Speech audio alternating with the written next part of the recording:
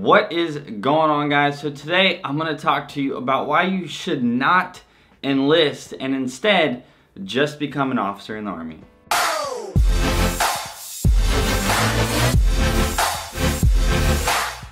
Now I'm going to preface this video by saying I do not think that everybody in the military should become an officer, just like I do not think that everybody in general should join the military. There are some people who are cut out for it. There are some people who it just doesn't fit their personality type. But, you know, I'm gonna, in this video, talk to you a little bit about, you know, why you should actually just become an officer, especially if you think it might be something that you want to do. Now we'll be doing a video later on why you should not become an officer, so keep that stuff in mind guys. Don't be hating on me for, try, for trying to convince some people to become an officer. But, you know, just right out the gate, you know, I'm to talk about this because it is a true statement. It is one of the reasons why a lot of people switch over to becoming an officer so late in their career and that is because officers just get paid more, right? There's a lot of reasons why officers do get paid more, but that is definitely just a sheer fact. Whenever you come in as a fresh second lieutenant into the United States Army, your pay is basically equal to like an E7 or an E6, depending on how many years of service they have in. So as far as the pay goes, you're kind of coming in way higher up on the, the pay ladder or whatever you want to call it, you know, whenever you come in as an officer. So that, again, like I said, that's one of the reasons why people will switch from enlisted to officer later on in their careers because of the retirement pay. Your retirement pay is dependent on what rank you were whenever you retire, right? So if you're like an E6, a lot of times those E6s or even E7s will switch over to an officer be an officer for a little bit, make it to like the rank of captain, which is 03, and then retire because the pay benefits whenever you retire is gonna be a lot, a lot higher. Now, one of the other reasons that you might want to become an officer is because you actually kind of give orders a little bit more than you take orders. Just kind of by the nature of being an officer, there's not as many people who are telling you exactly what to do. You might have your commander or XO or something like that, or even a step above that kind of telling you what to do indirectly. But for the most part, an officer, you're kind of planning things out. You are going to be shaping the situation a little bit more in order to meet the commander's intent. And by doing that, you are going to be telling a lot of people what to do to get things done, right? So you're gonna have some NCOs below you. You're gonna let them know what you want them to do. You're gonna let them know what the commander's intent is. You're gonna let them know, you know, all the things that kind of need to be done. Then you're gonna let the, the enlisted soldiers kind of take it away. And then if you're at the bottom of that totem pole on the enlisted side, all you're really gonna be doing if you're like E1 to E4, the majority of time is just taking orders all the time. So for officers, just kind of like straight out the gate, you you know there's a little bit of a learning curve. At the beginning i'm right now in that area. I'm a second lieutenant. But at the very beginning when you become an officer they're kind of throwing things at you and you have to make a little bit more decisions on your own. You actually have much more control than when you're enlisted and you really feel like you have absolutely no control at all. So when you're an officer to make it short sweet and to the point you give orders more than you take orders now I hit on this next one just a little bit on the previous point that I made, and that is that you can control the situation a lot more whenever you're an officer. Again, straight out the gate, you're a second lieutenant, you have a lot more control over the situation. Obviously, second lieutenants don't have as much control as even higher ranking officers, but when you're on the enlisted side, especially the lower ranking side of the enlisted soldiers, you don't really have that much control of the situation at all. Again, you're being told what to do constantly and it's not like really bad like oh do this do this do this do this but it's just like you're just a product of all of these decisions you are the product and you have to do the decisions of all the people who are above you right a little higher into the NCO ranks once you reach E6, E7, E8, especially E9, you are going to be making more decisions. But at the end of the day, it is going to be the officers who are really mapping out the, the plan, right? So they're the ones creating the plan and the enlisted soldiers are really kind of the ones acting it out.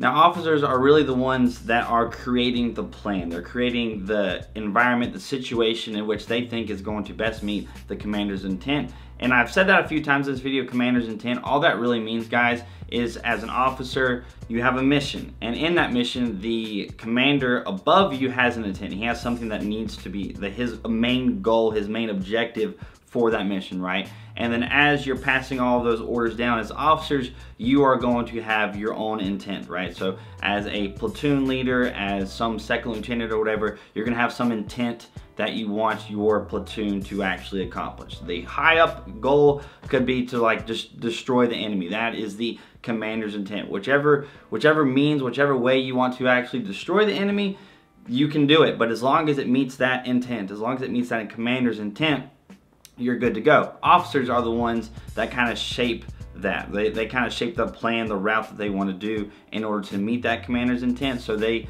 like I said, control the situation a little bit more. Now, one reason that you really might want to become an officer, and this is something that I really enjoy about being an officer, is you got less crappy busy work that you have to do. Enlisted soldiers, again, especially lower enlisted soldiers, because that's only that's the only experience I have as far as enlisted goes. I made it up to E4, then switched it over to the officer side, and enlisted soldiers, a lot of times you're kind of just doing busy work because you might not have much else to actually do. As an officer, you have things to do all the time. Something that I quickly learned out as officers, you've got a lot on your plate that you need to do. You got a lot of things that you need to plan out. You got a lot of problems that you need to solve. And so you're always busy kind of doing all that stuff. Enlisted soldiers, on the other hand, sometimes they accomplish their task, they do their task, and then they don't really have anything else to do because the officer is kind of trying to figure out everything they're trying to do stuff and then once they figure things out then they pass it along but in the meantime a lot of times you might be doing busy work as an enlisted soldier whereas for the officer you're in a way doing things that matter if that makes sense not that enlisted soldiers don't do things that matter i'm just saying like you're as an officer kind of always doing things and then on the enlisted side, sometimes you might just be doing busy work that doesn't really matter that much. Now the other nice thing about being an officer is most of the time, if there is a better living condition or a better situation for officers to be in, they're gonna get that preference, which is something that's really nice. It's something that's kind of weird. Again, especially coming from in lower enlisted, it's just weird. Like just in very basic circumstances, it's just like officers, you know, if there was a, a choice, right? Officer gets the bed or enlisted soldier gets the, the floor or whatever to sleep outside. To super, super simplify it, if there's, you know, an officer and an enlisted soldier and then there's a good living condition and a bad living condition and you have to pick which one's gonna get the good one, nine times out of ten, the officers are going to get the better living conditions. They're going to get the better freedoms, the better things like that. Whenever it comes to the enlisted side of things, you're going to kind of be stuck out in the rain on that. And sometimes that could be literal. Now, two things that I'm gonna mention having to do with freedom in the military, which is something that I really enjoy about the whole officer side of thing is number one, you get a little bit more freedom to actually do what you want to do. You get more freedom to actually, hey, this is a, a job that needs to be done. I can kind of solve this however I want to do it, right? As long as it, again, meets the commander's intent, you can solve it however you want. On the enlisted side, you don't really have the freedom to always think outside the box all the times or go outside of your commander's intent, which would be the officer above you commander's intent. Again, officers, you get that commander's intent handed down, and then you kind of decide your own way of how you're going to accomplish your little mission and then you pass that down and then you have your own little commander's intent if that makes sense but you know again officers you got your kind of freedom to kind of figure it out however you want on the enlisted side sometimes you don't have that you just figure it out how you're told to figure it out if that makes sense now the other thing that has to do with freedom which again, I really enjoy because it's just nice not to be scared to talk to some people. It's a little bit weird when you get to the super high up officer ranks because again, I'm just a second lieutenant, but kind of feeling more free to talk to people that are a higher rank than you is nice. Lower enlisted soldiers sometimes are kind of freaked out to talk to officers or high ranking NCOs. Then you go and switch over to the officer side and this is something that I kind of think is weird and appreciate and it's just something that I don't see in other people who were not prior enlisted officers and that is you know talking to a captain you know is a lot easier. You don't feel scared to go up and talk to a captain as you do if you were like an E4 some specialist or something like that just going up and talking to a soldier who's a higher rank, th rank than you it's a lot easier. You kind of have that freedom to go around and talk to whoever you want. You can talk to lower enlisted soldiers. You can talk to NCOs and it's just nice. Now the last thing that I want to mention, which could be a good thing, I think it's a good thing, is that you just get more responsibility early on in your military career. I mentioned this just a little bit earlier, you know, you get to shape the situation, things like that. But as far as responsibilities being thrown on you and not kind of just sitting there twiddling your thumbs and thumbs and everything like that, like that is nice, especially for me. You know, enlisted soldiers, you don't really have that much responsibilities thrown you. You're not really kind of left to think for yourself that much. You're already thought for in some situations. Whereas on the officer side, as soon as you join, and I talked about it with my first drill in the reserves, like as soon as I got to drill, you know, I was kind of thrown these different things. Hey, you're gonna be in charge of this. You're gonna be in charge of this. This is something that we want you to do. This is something whenever you go to BOLC, we wanna make sure you get this un this understood so that when you come back, you can help with this, this, this, this, this, right? So officers, as soon as you become one, you got all these responsibilities. I think it's a good thing. Enlisted soldier, sometimes you're kind of wanting to do something. You're kind of wanting to be in charge of something, not, you know, in charge of stupid stuff because nobody wants to be in charge of something stupid. But getting that responsibility early on in your military career is nice. Now that's gonna be it for this video. I do wanna say here that I'm not trying to make this video to really convince anybody being an officer. I'm not trying to make this video to say, oh, officers are better than everybody else. All officers are better than enlisted. All officers, you know, actually do things that matter. Enlisted soldiers don't, things like that.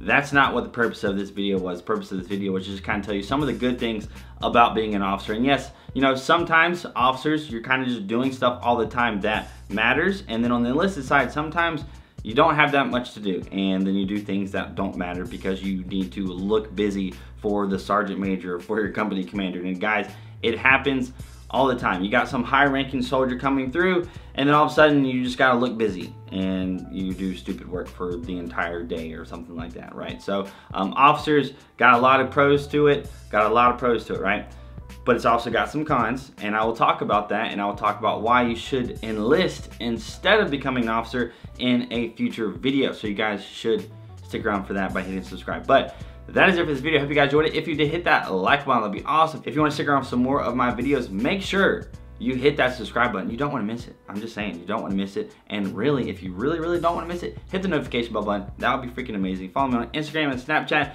If you haven't already, hope you guys have an amazing freaking day and I will see you later.